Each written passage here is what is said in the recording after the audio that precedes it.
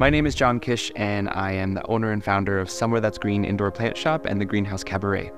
I think drag queens, in a weird way, are a superhero. As a superhero, we end up creating an acceptance and a freedom of our viewers that they can do and be whatever they want to be. In my experience, inclusivity in the outdoors is often limited by stereotypes of different types of people, financial accessibility, language barriers, and so many more other minute systems that maybe won't affect someone like me, but that are preventing people from enjoying their natural given birthright, which is being in nature. Those recreating in the outdoors should match the diversity of the plants that we see in our natural forests.